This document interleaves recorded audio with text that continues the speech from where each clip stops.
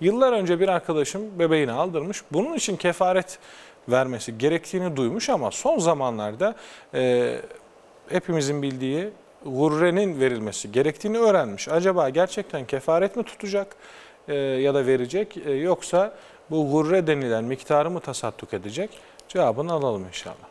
Yani çocuk aldırmalarda veya çocuğun düşürülmesinde veya şimdiki ifadeyle artık e, kürtaja götüren e, müsebbip kimse e, bunun ne yapması lazım? Bir takım cezai müeyyideyesi Evet. var. Dünyevi anlamda, tabi uhrevi anlamda Allah'tan af diler, Rabbim bağışlar. O tarafını bilemeyiz. Evet hocam. Ee, inşallah e, bağışlanarak gider. Fakat bağışlanabilmesi için de biz bir takım e, ne yapıyoruz? Ee, yani e, vesileler, araçlar ondan sonra e, onlara başvuruyoruz. E, gurre ödemesi de bu amaçla yani biz hata ettik. Bir canın e, itlaf olmasına sebebiyet verdik. O halde ne yapacağız? Üzerimize düşen bir yükümlülük var. Bunun gereğini yapacağız. Kefaretle gurrenin ben halk arasında aynı algılandığını düşünüyorum. Doğru.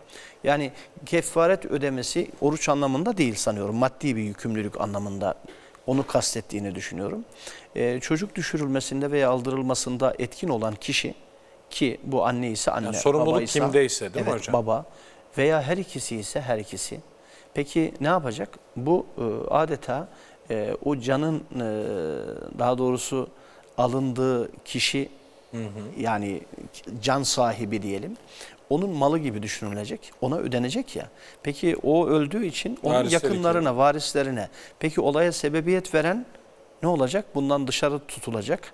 Anne ise ne yapacak? Anne ödeyecek. Kim ödeyecek? Var, varisi kim? Babadır babaya. Baba ise kadının rızası yoksa o düşürülmesine sebebiyet Annesine verdiyse ödeyecek. annesini ödeyecek.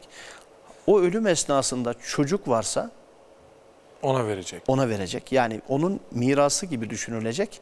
Öldükten sonra geride kalan kime, kime ise olaya sebebiyet veren dışarıda tutulup onlara verilecek.